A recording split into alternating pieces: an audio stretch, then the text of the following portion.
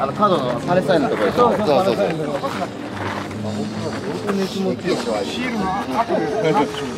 これ普通見れんのよね車ではないです車ではないや仕方ない金貯めてから家ってこの間言ったばっかり溶けてからそうねこれね。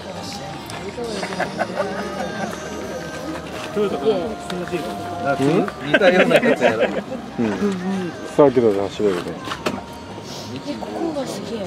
うん。三角窓お父さん。は昔ねじいちゃん。くん。の乗り降りた時はここの窓が三角窓やったっけそうかうん。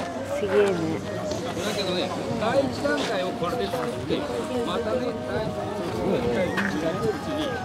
近い近い近い近いあーってこけそうになる距離感が分からん分かる？どこ行く？いうか